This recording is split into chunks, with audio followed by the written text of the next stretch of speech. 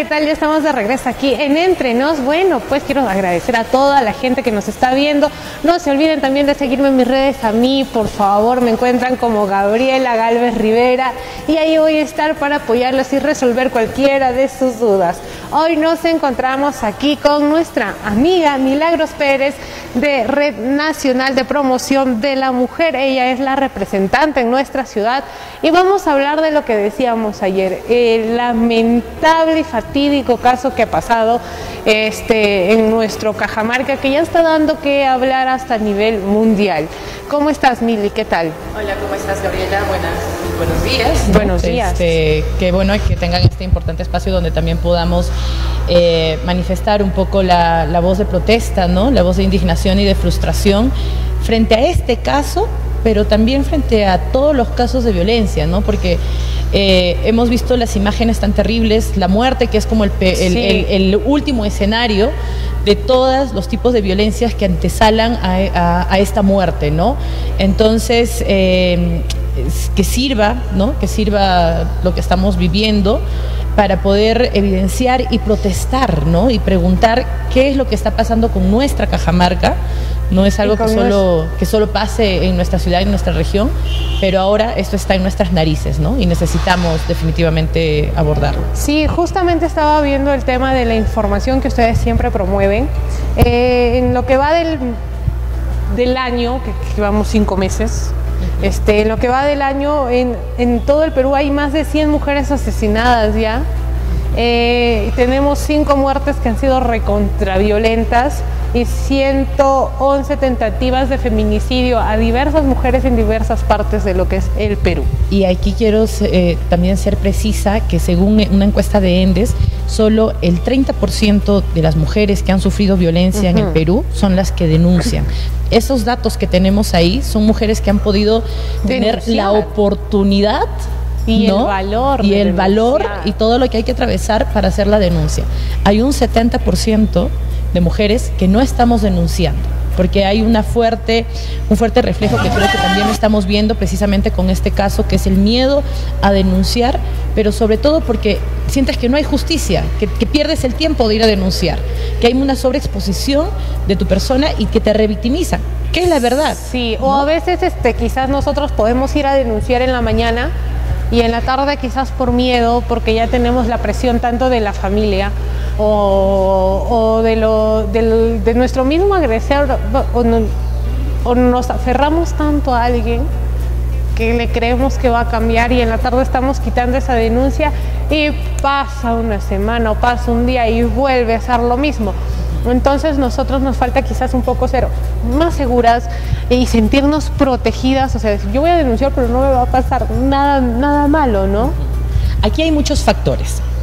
Primero que hay patrones culturales, ¿no? Que vienen arraigados desde nuestras abuelas, desde nuestras tatarabuelas, o sea, son patrones culturales que son muy difíciles de desarraigar. Nosotros siempre, nosotras estamos siempre hablando de este tema de deconstruir estos patrones, esos estigmas, esos estereotipos, ¿no? Que nos hace como recorrer a, a, a esta filosofía de que el amor en pareja, ¿no? Tiene que, que doler para que sea amor, o todo, esta, todo este romanticismo que sí. lo vemos en las novelas. Eso es por un lado, pero del otro lado también hay factores eh, sociales presentes que lamentablemente empujan a las mujeres. Yo quiero ser precisa en dos puntos. Uno, que cuando una mujer está dentro de un círculo de violencia, no es una persona emocionalmente apta como en la paz y en la tranquilidad de sentarse y analizar la situación, de decir, no, sí, mira, estoy siendo violentada. Es una cuestión sistemática que todos los días te dicen que eres bruta, que no sabes, que no entiendes, te lastiman, te golpean.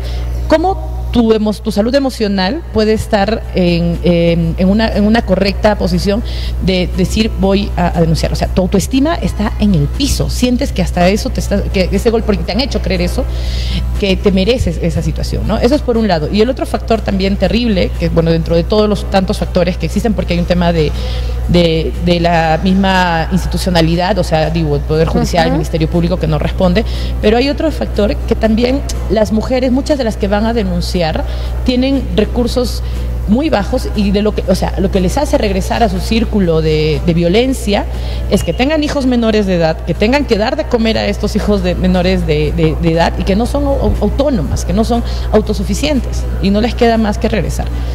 En cualquiera de las circunstancias, lo último que podemos hacer, Gabriela, y empezando esto por, las, por los operadores de justicia, es juzgar a las mujeres que retiran las denuncias o que regresan a denunciar, porque tenemos que tomar en cuenta estos factores que lamentablemente hacen que regresemos a estos espacios de violencia. O sea, pero si vamos a denunciar ya no nos deben dejar de quitar la denuncia, ¿no? Hay una, depende, depende cuál es el, el, nivel de, de, la violencia que se denomina dentro del derecho penal, pues los delitos de, oficio, ¿no? O sea, no los delitos de oficio, o sea, que de oficio eh, el Ministerio Público tendría que, que, actuar, ¿no? Por ejemplo, frente a un feminicidio, evidentemente es el Ministerio Público quien encabeza o quien presenta la denuncia y no pueden, o sea, nadie podría venir ante, la, ante que hayan quitado la vida a alguien de quitar una denuncia, ¿no? Los tipos de agresiones cuando hay menores de edad, también las instituciones de oficio deberían intervenir. Y por eso, eh, y, y acá un poco incluso analizando este caso porque se ha juzgado mucho el hecho de que las personas han grabado y no han ido a auxiliar, no han ido a ayudar, ¿no? Pero yo digo, ¿cuántas personas hemos tenido una agresión al lado o hemos escuchado gritos de nuestros vecinos y hemos cogido el teléfono y hemos llamado? Hay falencias en el sistema, es verdad, pero existen canales. Si tú estás siendo testigo de algún hecho, de alguna agresión, hacia cualquier persona, ¿no? Pero lamentablemente la estadística nos dice que la mayoría son mujeres y también hay una fuerte proporción de estas que son madres, ¿no? Entonces, no solamente estamos hablando de la madre como víctima, sino también de los menores de edad. Existe la línea 100. Por último, una llamada al serenazgo. O sea, estos números, como digo, nunca sabes cuándo tú puedas ser víctima. Claro, pero siempre es bueno cuando ¿no? tu amiga, tu hermana o alguien quiera solicita esta ayuda. Entonces, también es importante saber a qué canales y que no seas testigo solo, sí, que no seas cómplice del acto, ¿no? Que, claro, este, ahora entrando más a, a, al tema de lo que, de lo que ha pasado en, en nuestro Cajamarca, eh, mucho se cuestiona el, el, eh, el tema de, de, de, de, por qué nadie fue al resguardo de ella, ¿no? Pero si nos ponemos a investigar, yo creo que hay un punto claro que nosotros no tocamos, es el perfil del chico. El, chico ya ha tenido denuncias anteriormente, ¿no? Entonces, quiero hacerte una pregunta, mi querida Mili. Si él ya ha tenido denuncias anteriormente y ella ha denunciado cuatro intentos también este, de, de asesinato, que, que, la quería matar este pata, ¿por qué, ¿por qué las autoridades o por qué no se tomó más más conciencia sobre eso o en Cajamarca ella podría encontrar en algún lugar el resguardo, el resguardo que necesitaba? Aquí volvemos también a dos aspectos, ¿no? Uno, ¿dónde está la mayor responsabilidad de quienes tienen la, autoría o la responsabilidad directa de salvaguardar la vida de, de Mirley, ¿no? Y el otro análisis es el tema de la población. Entre la población y las autoridades, quienes tienen la responsabilidad casi absoluta de salvaguardar su vida, eran las autoridades, ¿no?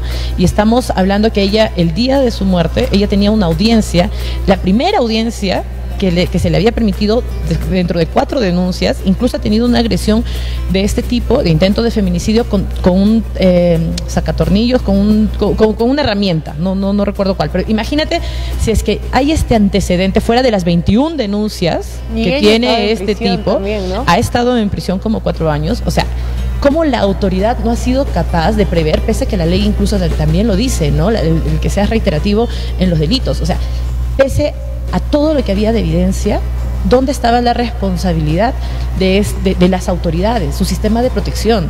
En Cajamarca, si bien es cierto, tenemos una casa regional, una casa refugio este, provincial por la beneficencia, que diríamos es una eh, entidad privada porque es de la beneficencia, Ajá. pero intervienen este, entidades como el Ministerio, o sea, el Ministerio de la Mujer tiene que dar autorización, ¿no? Eh, ¿Esa casa está funcionando Esa casa está funcionando y yo me pregunto por qué Mirley no estuvo acogida en esta casa teniendo hijos menores de edad, teniendo cuatro denuncias, teniendo todos estos intentos y solo se le perturó hasta una, hasta una denuncia. Yo necesito también esa información por parte de las autoridades, porque el protocolo de atención, la hoja de ruta, eh, la, las, las, políticas, ¿no? Incluso como yo decía en, en, con unas compañeras, un 8 de marzo vienen y te dicen que todo, que, que esto funcione así, ¿no? Claro. Pero cuando, cuando analizamos casos como el de Mirley, decimos, entonces, ¿qué pasó? Y necesitamos que salgan las autoridades a pronunciarse y a decirnos qué pasó, por qué sus medidas de garantías, teniendo todos estos antecedentes, no funcionaron, por qué no estuvo ella en la casa refugio. Y también quiero hacer acá incidencia con el tema de la casa refugio, porque Mirley no es el único caso. Es el único Hay caso que estamos viendo donde ella ya está muerta, donde nos impacta porque hemos tenido este nivel de imágenes. Y sobre todo, ajá, e- exacto, es ese punto, ¿no? Sobre todo nosotros estamos haciendo mucho meollo ahí en este caso porque hemos visto las imágenes de cómo ella ha sido arrebatada de su vida de una manera tan cruel y tan dolorosa para quizás para todas las personas que lo podemos ver. Pero imagínate cuántas mujeres hay, no solo en nuestro Cajamarca ciudad, sino en nuestro Cajamarca región, que sufren estas amenazas casi diarias, mensual, eh, y viven cohibidas, calladas y reprimidas porque no pueden llegar su voz a hacerse notar, ¿no? En el Perú, cada 48 horas hay un feminicidio. ¿No? Y, te estoy diciendo el feminicidio como el último peldaño de la, de la violencia que, que se ejerce contra una mujer, porque nunca va el hombre de frente y te mata. ¿No? Siempre antes ha habido acoso, ha habido hos- hostigamiento, ha habido golpes, ha habido amenazas, eh, ha- hay, hay toda una serie de, de- de violencia y lo peor de esto es que no se está descubriendo la pólvora, o sea, hay un montón de estudios que han salido eh, sobre cómo se- o sea, cuáles son los factores que nos determinan estas violencias y qué hay que hacer. Y lo terrible es que no se hace.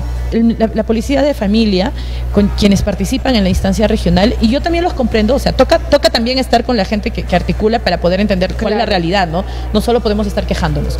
Y yo entiendo que no hay la capacidad operativa, porque imagínate cuántas denuncias cada día sobre violencia, ¿no? Claro. ¿Cuántas medidas de garantía existe? Ya, pero si es que las medidas de garantía eh, de protección para las mujeres no está funcionando, no podemos solo sentarnos cruzando los brazos y decir, oh, que no funciona, pues que las maten, ¿no? O sea, ¿qué hacemos? ¿Cuál es la alternativa? El accionar que debemos de ¿Cómo, cómo vamos a hacer las juntas vecinales? O sea, aquí, y otra, y otra cosa que a mí me, me- me indigna muchísimo más todavía, para el 8 de marzo todas las autoridades salieron a pronunciarse sobre, ay, felicitarnos a las mujeres, darnos nuestro bracito, ¿Y ahora las flores y eso. ¿Dónde, y no voy a decir la palabra porque es un horario familiar, No, por favor. pero ¿dónde están pronunciándose en este momento el presidente del gobierno regional, el alcalde de Cajamarca, diciendo, esta boca es mía, las mujeres de Cajamarca también fueron las que votaron por mí o no, pero yo soy las que tengo que, yo te- soy las que tengo que asegurar su seguridad dentro de este entorno, ¿no? O sea, hay cosas que yo entiendo no competen directamente a cada gestión, Sí, pero ellos están en este territorio y tienen la responsabilidad, aunque sea política, de salir a pronunciarse. claro. Y hasta ahora no lo han hecho. Y, y solo es una, una de tantas que, que, pu- que pueden llegar a, a tener esta situación tan trágica, ¿no? Si bien es cierto, ella ya ha denunciado cuatro veces antes. Ella ya ha tenido acoso, ha tenido violencia por parte de este tipo. Incluso muchos también están en las redes cuestionando que por qué ella salió a una discoteca si tiene hijos, ¿no? Bueno, este, eh, cuestión de cada quien lo que decide hacer, el do- cómo decide divertirse y también puedes divertirte y ser responsable, ¿no? Eso te decía con, lo- con- con los patrones culturales que tenemos Sí. desde antaño, ¿no? Sí si ahora nosotros nada más podemos utilizar un pantalón, o sea, nuestras abuelas, que cuando ni siquiera existía la figura de feminicidio, ¿no? O sea, imagínate cuál ni siquiera podían votar. Claro, entonces O sea- ahora, ahora que ya estamos en este punto, en este 2023, eh, ¿cómo las, las mujeres, ese- bueno, este tipo agarró, salió, la buscó en la discoteca y entre más, porque ha habido cómplices? Han habido cómplices, han salido videos. Bueno, primero ella bajó de una camioneta, ¿no? Y Ya. bajó arrastrada. El hombre no, no puso ni un pero, no puso nada. Y aún siquiera por la ventana pudo haber visto que la estaba degollando, ¿no? O sea, y él no se inmutó. Hay una mototaxi que también pasa, donde el agresor ni siquiera se inmuta ni nada, por mucho solo levanta la, la- mano en un estado de confianza, por lo que da a entender que hay cómplices en el sistema. Leí en algún, en, en algún espacio que ya tenían identificado al vehículo y también al cómplice, que lo están buscando y de verdad esperamos que lo estén buscando. que También a ese de, de- de- de- la, de- a este de a este señor de la mototaxi y quienes estén involucrados, quienes estén involucrados en tan terrible hecho eh, de Mirley, porque solo tenía 32 años y, y ahora hay víctimas Los de carne y huesa que son las niñas, creo que me parece que son tres Niñas, tres mujeres, niñas, ¿no? todas, eh, que, que también están en, muy jóvenes, menores de edad, todas. ¿no? Y en la adolescencia, que para, para variar es una edad tan difícil. Y, y lo otro es que pese a que hay un hay, un, bueno, indemnización, una especie de, de, una pensión que tienen eh, las menores eh, hijos víctimas de feminicidio, que además que es ínfimo, pero que a la nada siquiera les da algo, ¿no? Pero no es lo único. Necesitan estas niñas ahora, sobre todo, sobre todo, el tema de atención de salud mental, que no lo estamos viendo. Y que no se ve el tema de salud eh, mental de todas estas víctimas que quedan, que es la familia. Porque, Gabriela, no es lo mismo que tu familiar se muera de una enfermedad porque está viejo, de algo, a que, le arrebate la vida que y de una manera violenta. Y lo peor, que tengas que ver todas esas imágenes reiterativas de cómo la cabeza de la señora rebota con la piedra. Estas niñas tienen internet, tienen Facebook, esas imágenes jamás las vas a poder borrar. Y mientras más lo repliquemos, más va a estar dando vueltas y más estamos revictimizando a quienes ahora se están quedando con esta carga y con esta pena. Y, depende mucho de nosotros el morbo que podamos hacer entre las cosas o que podamos tener, ¿no? Pero también mucho depende este, cómo nosotros actuamos ante un agresor. Mili, cuéntame cómo nosotros podemos darnos cuenta de que estamos por caer en algún tipo de agresión física, verbal por parte de alguien y sobre sobre todo por la persona que dice amarnos y querernos tanto y valorarnos. Y no solo puede suceder de mujeres, eh, de hombres a mujeres, también este, a veces las mujeres pues... no, hay, hay, una data, si no me equivoco, es entre el, el 10 o 15%, es, o sea, es menor, obviamente, pero está esta data de que también los hombres son agredidos. No decimos que no. Y ahí, y yo creo que a lo mismo que las mujeres eh, no denuncian porque sienten que no hay justicia, los hombres no denuncian también por una cuestión de, estereotipos, exactamente, de estereotipos, de vergüenza, de que ya te van a decir saco largo, de que ya te van. Y, hay todo, todo un estigma ahí, pero sabes, o sea, también necesitan, así como las mujeres nos estamos eh, organizando, uniendo, estudiando, analizando, involucrándonos en espacios no solo de protesta, sino también de propuesta, los varones también necesitan hacer lo mismo. Porque yo como milagro siendo mujer no puedo dar la voz de un hombre. Yo no puedo sentarme acá a hablarte sobre la próstata porque no tengo ni siquiera eh, este, un, miembro masculino. No sé ni cómo se siente. Puedo imaginarme, pero no tengo la legitimidad. Claro, necesitan también unirse y entre ellos crear un círculo que pueda respaldarlos. Exacto. Y depende mucho de ellos. El Ministerio de la Mujer ha tenido iniciativas, ¿no? De hombres por las masculinidades, eh, pero ya ves que como cambian de ministerio, cambian de ministra cada vez y con las ministras que nos tocan, ¿no?